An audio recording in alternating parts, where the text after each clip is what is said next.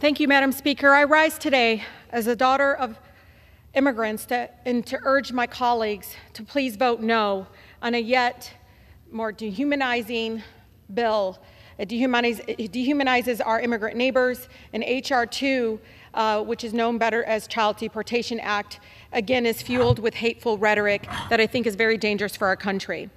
I'm honestly not sure if the goal with this bill is to worsen our broken immigration system or just to simply keep as many black and brown immigrants out of our country as they can. I know bringing back family and child deportation is immoral. Prohibiting funds to organizations providing life saving humanitarian aid to migrants is simply cruel.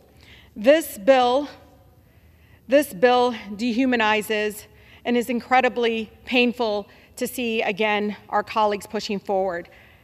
Many have called it racist and inhumane, that it's fear mongering, that it's failed policies that will continue to worsen again our broken immigration system. We must, we must in this chamber protect all of our neighbors. We also must work towards protecting again those that are fleeing horrific violence. We need to continue to be leaders in creating a safe haven again for those that seek asylum. We cannot and should not embrace hate rhetoric and policies that only seek to pit communities against each other, tear families apart, and put our immigrants, immigrant neighbors in harm's way here in the United States, Madam Speaker, and also those from other countries. No human being is illegal.